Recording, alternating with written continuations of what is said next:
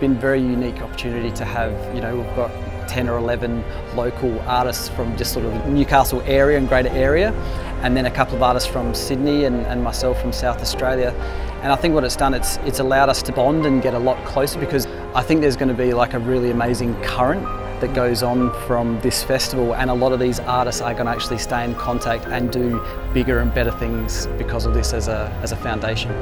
We're moving towards a beautiful tourism city. I think street art plays a great role in that. The special thing for me is working alongside other artists. There's nothing better than just being next to some mates and putting some colour on a wall. Um, hopefully we can continue to do it every year because you know there's plenty of walls around that need colour yeah, on them, so totally. bring it.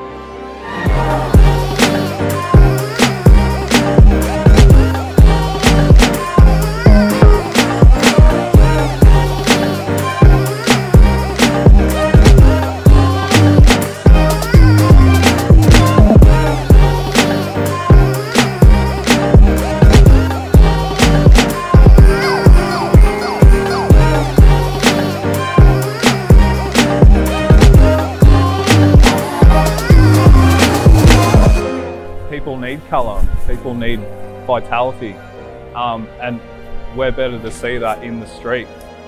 So I think it's really important to me that the community are involved in the work that I'm creating, especially because it is in the community. I want this wall to be for everybody. So.